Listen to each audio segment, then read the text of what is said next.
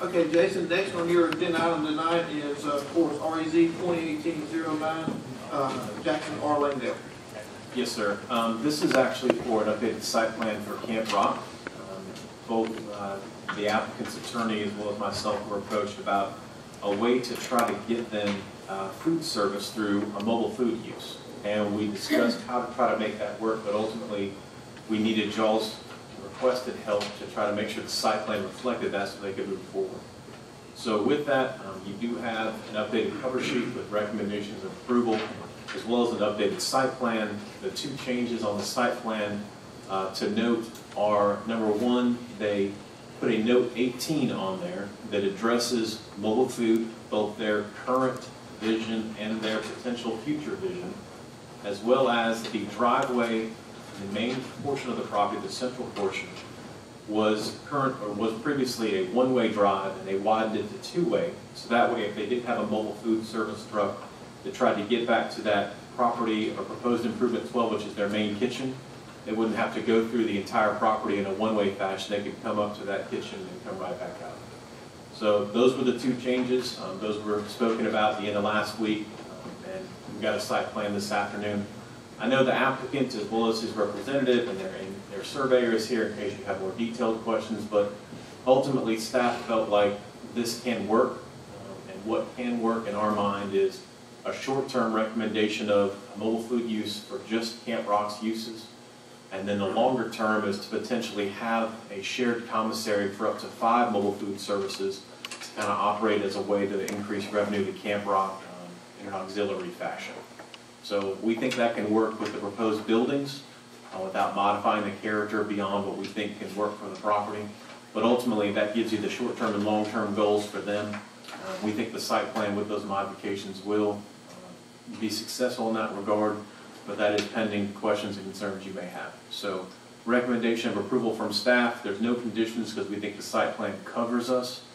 Um, But we'll try to address any questions or concerns you may have tonight, depending on how that works out. I just don't remember from last board work session, is this a, a mobile food prep or a hard site prep? It is, it's both. So, short-term, what they want to do is they want to have um, a nice mobile food truck, which means they can have a very basic commissary-based operations.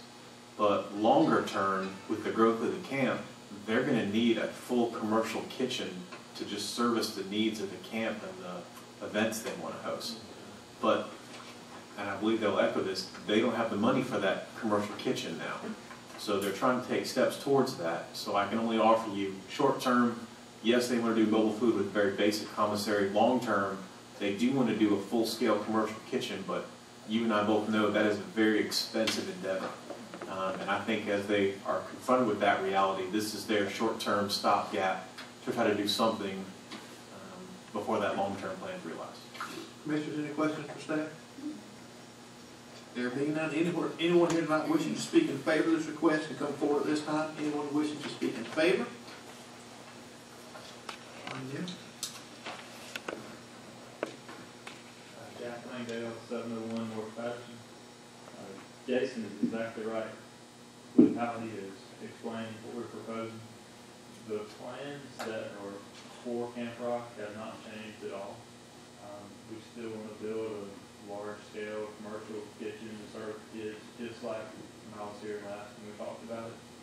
Uh, right after we received approval from the county commissioners, um, we started, started thinking about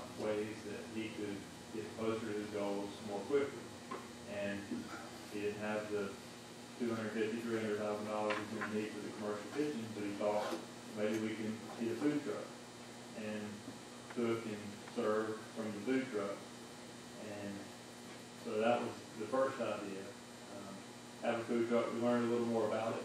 Learned we had to have a base of operation, commissary, and we would plan to have the commissary area on the E4 for the E twelve.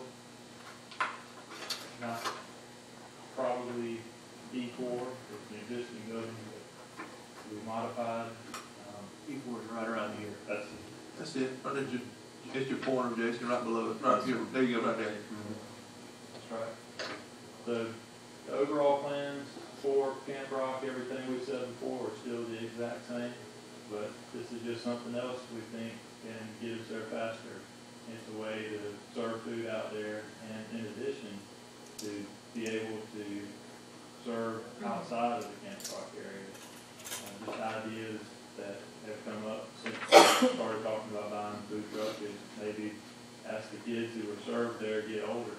um, Maybe they, they work with the food truck and you go serve in other areas or serve in other underprivileged areas. and, um, Lots of different possibilities we can get this through. Any questions for the representative? Thank you, sir.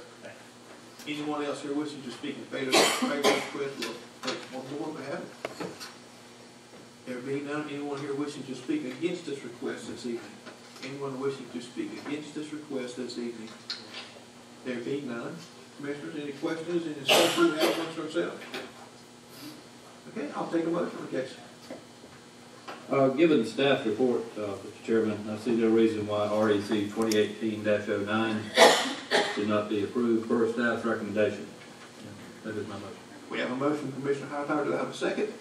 Second. We got a second, from Commissioner Wiles, any discussion on the motion and a second? There be none, I'll take a vote, all in favor of this, please signify by raising your right hand. Ms. Deborah, that again is unanimous. Jason did a lot better job than I think I had.